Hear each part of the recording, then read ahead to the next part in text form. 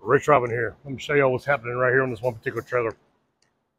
The company's called BL, BLS, right? This is the CAD file that we are cutting or cut already on our plasma table here. And I got one welder that's fabricating that sign right now. This is the aluminum plate that goes between the uh, the sign. So it's going to be a, a two-sided sign with this shiny aluminum piece between the two signs, left and right, or driver side, passenger side of the trailer. So it's going to really stand out and have some bling to it, right? Especially when the sun hits it or at night if you got lights on it, right?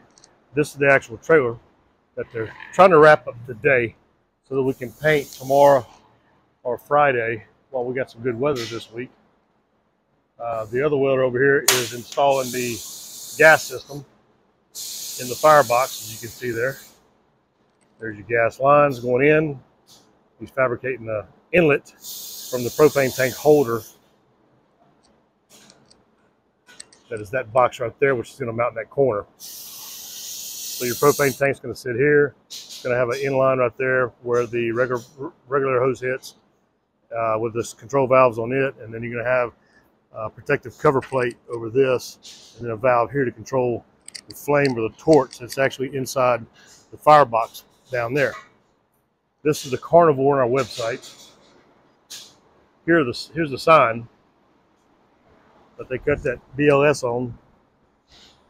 And they're going to sandwich that aluminum piece in the middle of it and uh, bolt the pieces together. Driver side, passenger side pieces.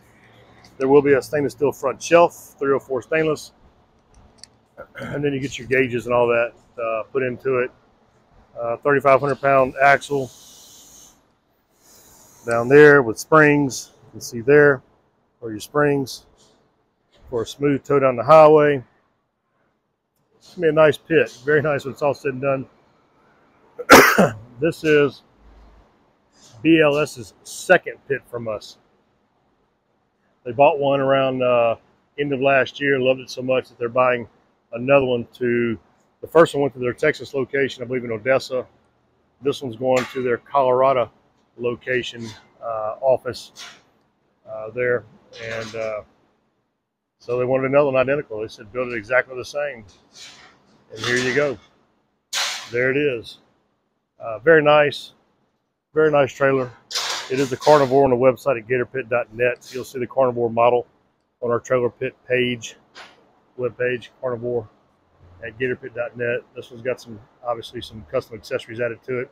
It does get fenders added. Uh, that'll be one of the last things they probably do is mount those fenders. It won't take them but about an hour to do that.